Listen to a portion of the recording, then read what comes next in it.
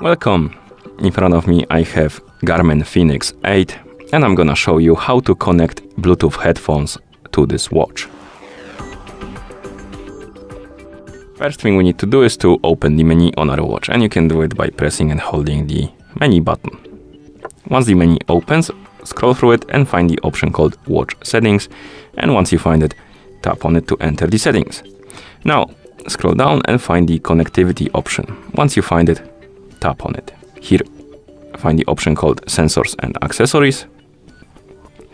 Now, tap on Add New.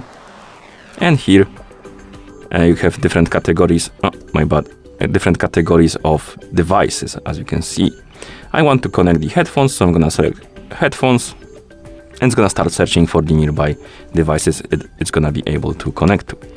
Uh, I have these headphones right here, the Sony headphones, and I'm gonna enter the pairing mode on them. So I'm gonna press and hold the power button to enter the uh, pairing mode on my headphones.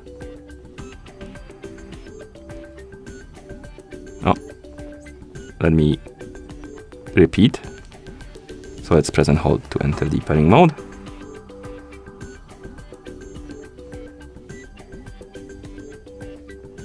Okay, the, the headphones enter the pairing mode. We can tell by the LED blinking, blinking rather.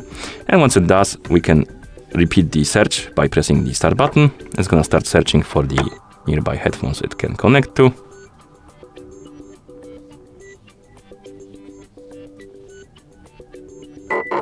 And it found our headphones. Once it does, you can tap on them to select them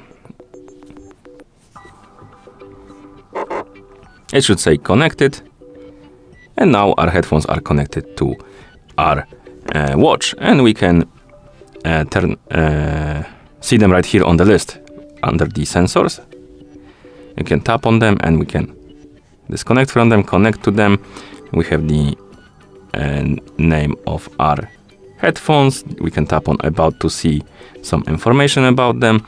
And if you want to remove them, so completely disconnect them from your phone, or rather from your watch, you can also do it by tapping on remove. And of course, once you're done, you can press the back button to go back to watch face.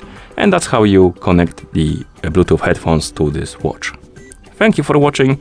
If you found this video helpful, please consider subscribing to our channel and leaving the like on the video.